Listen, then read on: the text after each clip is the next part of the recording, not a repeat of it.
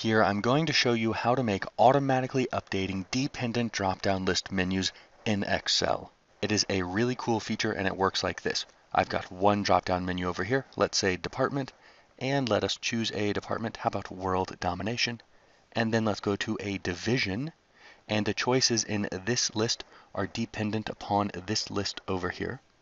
So we choose division, let's say world 2. And now let's go to our source data and let's say that we want to add a mining division or department. So we do mining over here and then we go over here, mining, and let's say M1, M2, M3.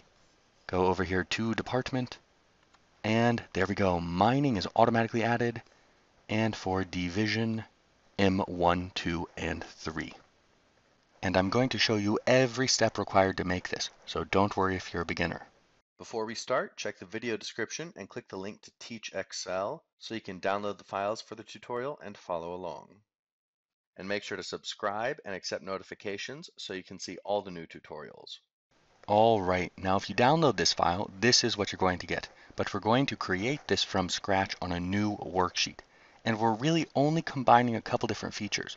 So the drop-down list or menu is data validation, and this right here is a table. And we're going to use not really a trick, but kind of a trick to combine everything. And before we start, I do want to say that you can put this source data on another worksheet. So let's go to a completely blank worksheet and get started with this guy.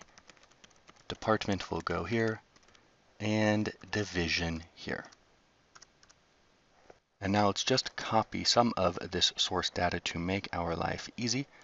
I'm going to bring it over here and paste special values so we just get the text. And this is the first thing that you want to do, is to have a table of data. And this is what's going to appear in the first drop-down menu. So get this guy working and happy and everything good, and then we'll move to the next step. And what we're going to do for that is just click anywhere in this table and then go to Insert, Table, or Control T on the keyboard. And it is a good idea to have a header here. So Departments is going to be our header for this table. So in here I'm going to check My Table has headers, hit OK. And we will now have a table format here. And a table is a special thing that gives us access to all sorts of cool features. But the coolest one is that when I add a new value down here to the bottom of it, it will update.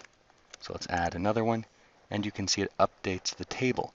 And it is that that is going to update our drop-down menu for us automatically. So let me back it up. And the next thing that you want to do with your table, so click in the table, is go to the Table Design tab. It might be called something different if you have an earlier version of Excel, but you'll have a special tab up here for the table and then go over here to the left where we have table name. And by default, it's going to be something like table 1, table 2, table 3. You can leave it like that, but it's going to make life easier if you give it a descriptive name here. We are going to call it departments. You can't have any spaces or any funky characters. Give it a very simple name without spaces, hit enter. And make sure it is a unique name. So I've already named the table on the other tab, departments. So I'm going to go ahead and quickly make it so that this guy is no longer a table. And the same with this guy. All right, so let's go back here and name it departments to make our life easier. And now we're almost good to go. But I want to show you how this works before I do it. So let's make a range reference for this guy. And I'm going to zoom in just a little bit so you can see it. This is a table, so if I go equals and I select the entire column underneath this header row, look at it, it goes equals, departments, departments. Now this is the name of the table. So if I did not just rename this, it would be table 3, just a generic table name. This right here is the header for our data. So departments right here. And it is this structure that is going to allow us to make our drop-down menus and our dependent drop-down menus. So when I hit enter now, I have Excel 365. It's going to fill in all of the data for this, accounting HR world domination for departments. But what we need to do is to get this reference nice and happy in data validation.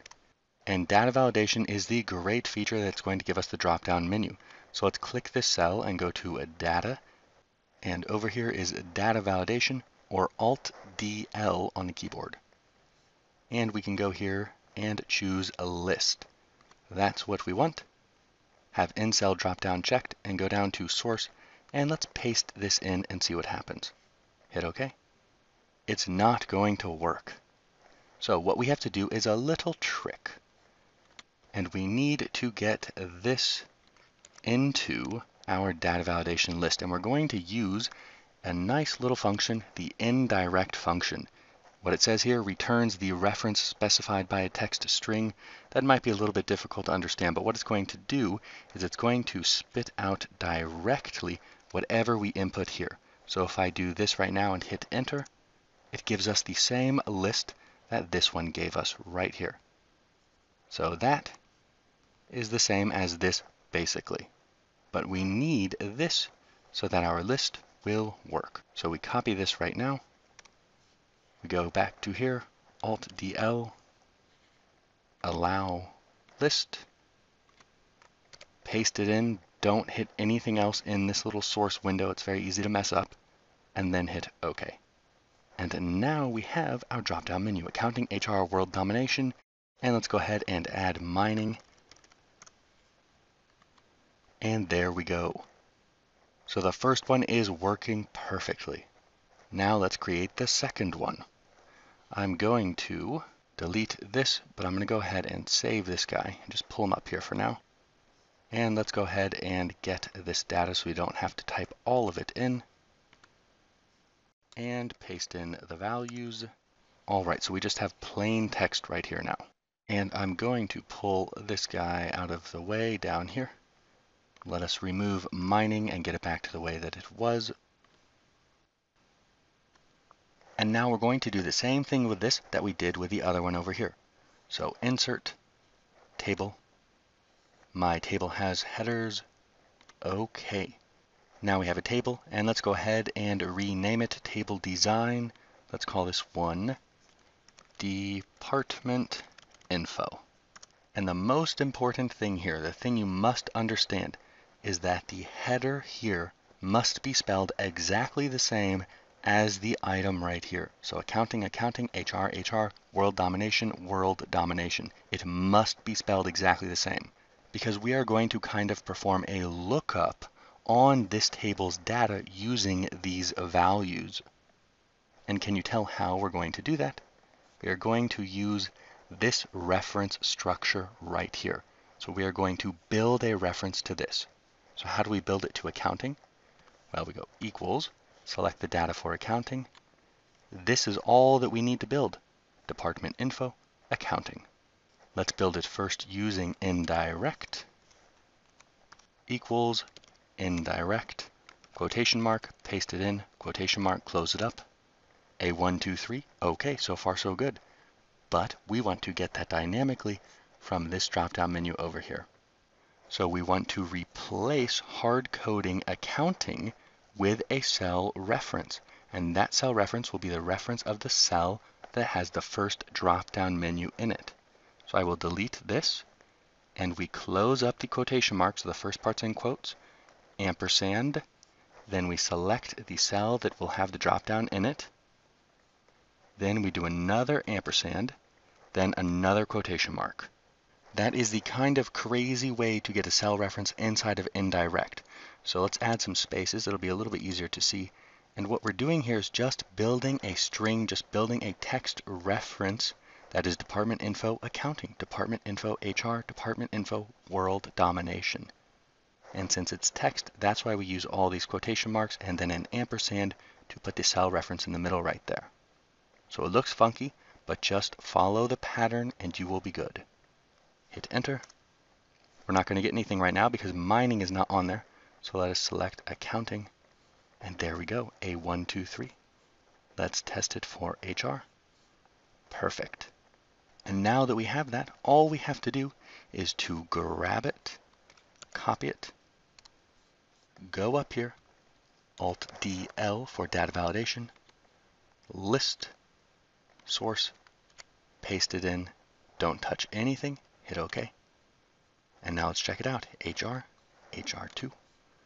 Let's go for world domination again. World 1, 2, 3. All right, let's add back in mining. Make sure it got in over here. Perfect. Now, the easy way to avoid a misspelling is just grab this, copy it, and paste it in here to the right of this table. The table will automatically expand and add your options. Now let's go for department mining, division, perfect. And once you have it down and working like this on one worksheet, go ahead and change the formatting as much as you want. Put it wherever else you want in the worksheet or another worksheet. If you don't like this formatting, just click in the table here, go to Table Design, go to Table Styles, click this, and take off the formatting. There's a lot that you can do here. You don't like these drop-down arrows? Go in here and uncheck Filter Button, and they're gone. So you can make this table look like regular cells if you don't like the default formatting.